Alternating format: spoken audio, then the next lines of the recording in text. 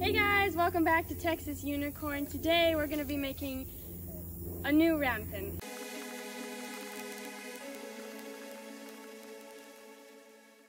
I'll just kind of show you around, full circle.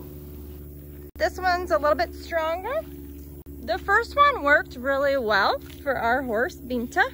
And as I said in the last video that shows our homemade round pen,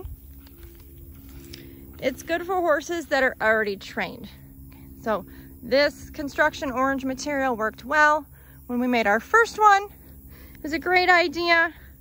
It might even work well for training other animals, maybe some miniature um, goats. But the one thing that it does not work for is donkeys. This is fun, guys.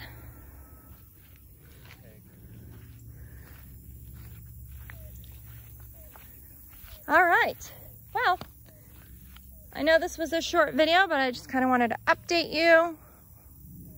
I'll show you when it's all done really quick. I'm sure they'll be trying it out with Pinta today.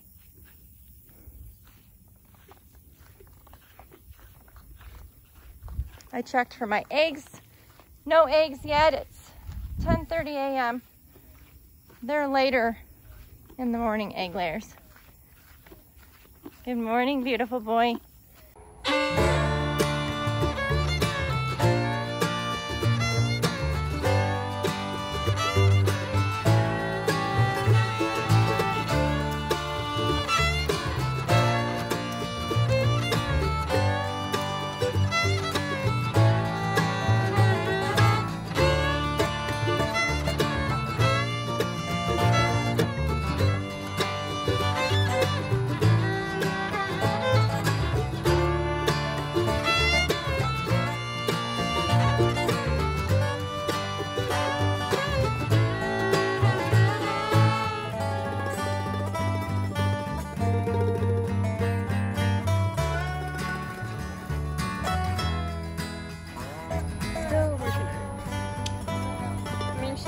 Looks like she's being a little lazy.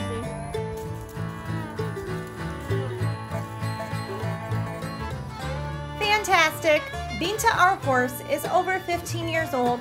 We take her groundwork and training day by day. Thanks so much for watching, guys. Don't forget to subscribe, like, comment below, and we will see you in the next video.